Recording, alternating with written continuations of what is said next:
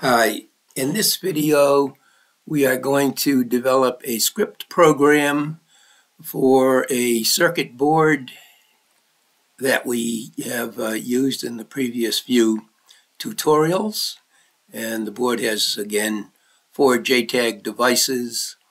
Uh, it has some SRAM uh, LEDs, uh, some switches and is connected through a ribbon cable to a JTAG port on a USB uh, controller, dual port controller. To get started, we will go to the application button and open an existing project that we uh, recently did. And just to make sure that's still working okay. We'll just click all pins to run the test. And that runs and passes. So uh, to uh, continue, we could just put uh, a script program into the scripts subdirectory and open the scripts tab here. But uh, another way to do this that in the long run might be a little easier is to go to the application button click Add Script Program and set the name of the program. In this case, it's going to be setleds.txt. It's a, let me make that lowercase, .txt. It's a text uh, file. And what we can do is copy settings from an existing test so this will save us the uh, effort of redefining power and ground pins, um, guards, and that type of thing. So what we'll, we're going to use this folder in this test. Click OK. And that will have been done. We should check our control and make sure uh, it's okay. So JTAG chain A is assigned to A. There is no chain B, so we're going to put none here for the uh, controller adapter, and then we're going to save it. Another thing we can do is we can retest the tap, and this is a tap test which has been explained before, but basically, so the test access port is good. So the boundary scan is working uh, for this application and we can go ahead and do the script. So, but rather than write the script in manually, what I'm going to do is just drag and drop uh, and paste it. So, okay, I have, I didn't mean drag and drop, we're just going to paste it. So we're going to paste our test.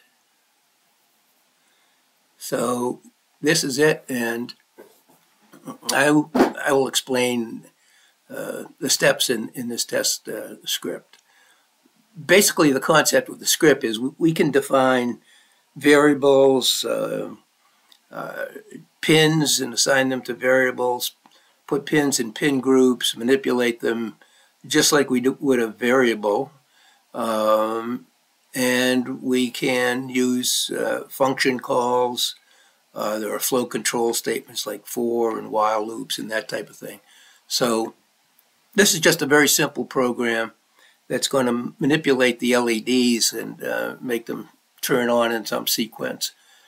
So first of all, we can declare some uh, variables, in this case int x.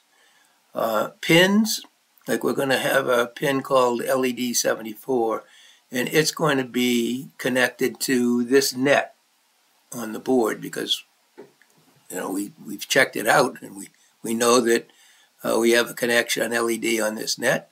The net name helps us too. Uh, then there's another pin, an LED uh, connected to this pin, so we want to connect, uh, make the assignment directly to a JTAG pin. And then some more LEDs, there are a total of four that we're using, and they're connected to these nets. And then we're going to define a pin group. We just, uh, to do that, we just make a new name, LEDs, and put the four LED uh, pins in the group. And then we start the main program. That's uh, just that statement. Uh, then we can make a watch list of things that we want to watch. Uh, we can do it easily. For example, just double click on a variable and as the program runs or single steps, you'll be able to monitor particular uh, pins or pin groups. Uh, maybe LEDs would be a good one to watch. And then there are some built-in functions like drive low. So this will drive the whole pin group, uh, the values on all those pins low. Uh, and drive high. So we could list the pins individually or do it by pin group, individual pins. Again, some more of that. Uh, these, this is drive high, drive low. DZ is uh, high impedance, so in this case we're driving all of these pins to a high impedance, so they are not driving. And here we have a for loop. So for x equals 0 less than or equal to 45, we're going to assign the value of x to LEDs and drive the group. So then we're going to make a say statement. This is like a message. It'll output the value of the LEDs, so you know what's uh, going on.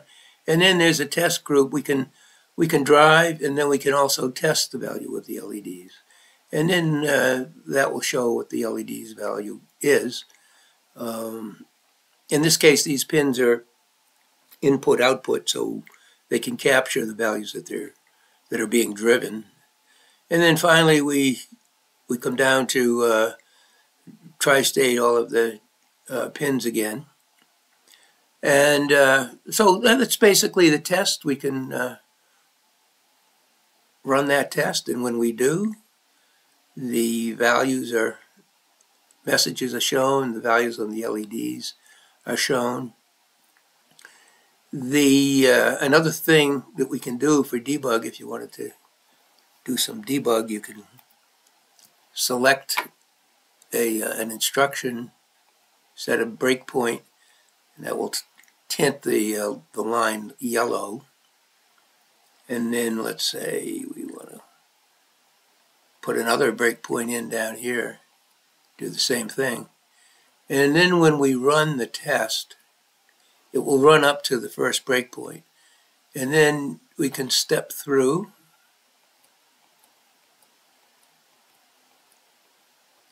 And as we step, we can see the values here changing.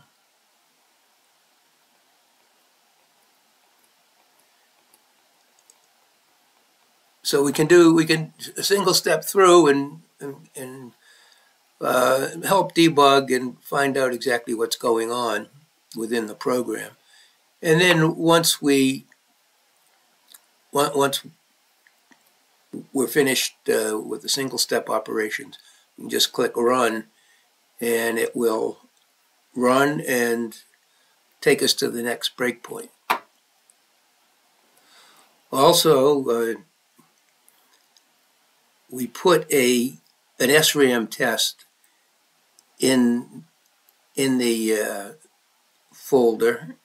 So what we're going to do is we're going to switch to the SRAM test. This is a a lot more involved. You can see there are more loops. There are function calls to write data, read data, read switches, all kinds of things. So let's run that and see what happens.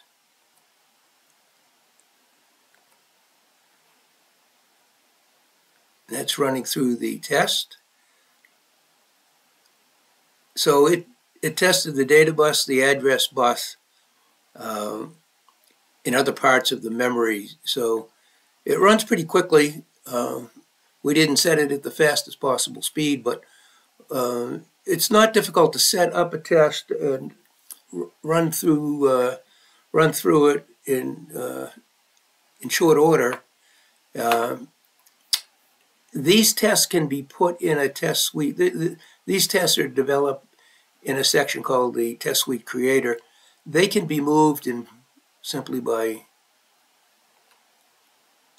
using the uh, right click and getting that menu. They can be put in the runner so you can designate any number of programs that you or tests that you want, put them in the runner.